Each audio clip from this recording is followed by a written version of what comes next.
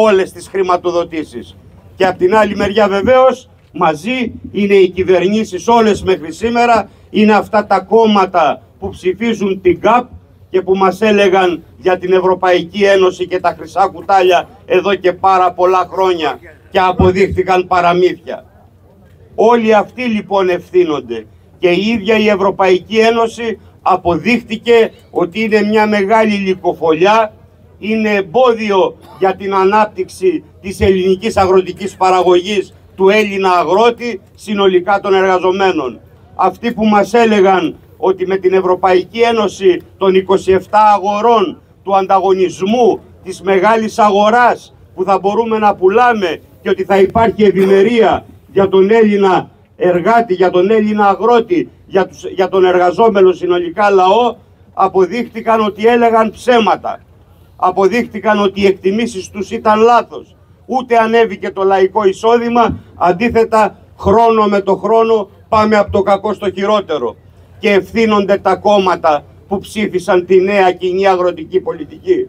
Όταν το ΚΚΕ προειδοποιούσε ότι με αυτή τη νέα ΚΑΠ θα την πληρώσει η ελληνική αγροτιά.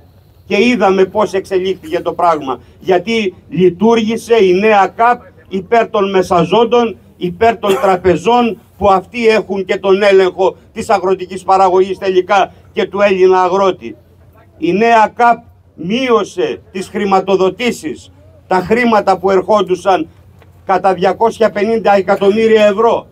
Αυτό είναι πολύ σημαντικό ποσό σήμερα που έχει εκτιναχθεί το κόστος παραγωγής για να μειωθεί και να μοιραστεί και δεν μοιράστηκε. Και από την άλλη μεριά επίσης δεν ισχύουν τα διάφορα που μας λένε ότι υπάρχουν αντισταθμιστικά από άλλα προγράμματα της νέας ΚΑΠ όπως είναι τα οικολογικά, τα πράσινα προγράμματα και πράσινα άλογα ή δεν ξέρω οι διασυνδεδεμένες ενισχύσεις κλπ. κλπ. Διάφορες ορολογίες που χρησιμοποιεί η Ευρωπαϊκή Ένωση και η ΚΑΠ και αυτές είναι μειωμένες κατά 5% δεν το λένε αυτό και δεν λένε επίσης ότι ο πληθωρισμός είναι στα ύψη και το κόστος ζωής έχει εκτιναχθεί. Άρα λοιπόν εκεί είναι τα προβλήματα και εκεί να δούμε ποιος ψηφίζει τέτοιες αποφάσεις για να την πληρώνει ο ελληνικός λαός.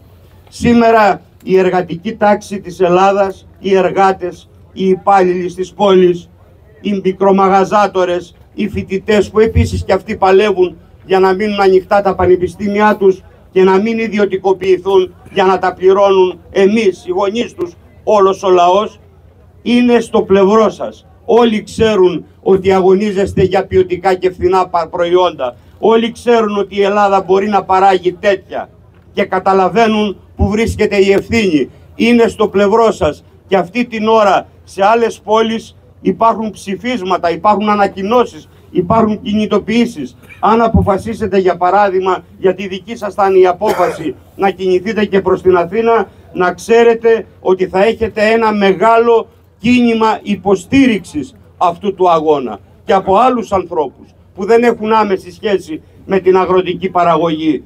Έτσι λοιπόν ενωμένοι, χέρι-χέρι όλοι, πρέπει να προχωρήσουμε και να ασκήσουμε τις πιέσεις να γίνουν, να δοθούν ανάσες ανακούφισης, να φτιαχτούν έργα και ειδικά εδώ στην Κάρλα τα αποστραγγιστικά έργα που πρέπει δεν έχουν καν ξεκινήσει για να φύγει το νερό, 180.000 στρέμματα πλημμυρισμένα, αυτό που υπόθηκε σαν πρόταση ότι δεν πρέπει να ξαναπλημμυρίσουμε γιατί το πρόβλημα θα είναι μπροστά. Άρα πρέπει να υπάρξουν άμεσα με χρονοδιαγράμματα συγκεκριμένα τέτοια σχέδια είτε ανοίγματο της σύραγγας ή άλλα μέτρα απαραίτητα που μπορούν να μας πούν οι υπεύθυνοι και μπορούν άμεσα να τα μελετήσουν και όχι να τα στείλουν να τα μελετάνε και να τα μελετάνε και να περνάνε δεκαετίες έτσι.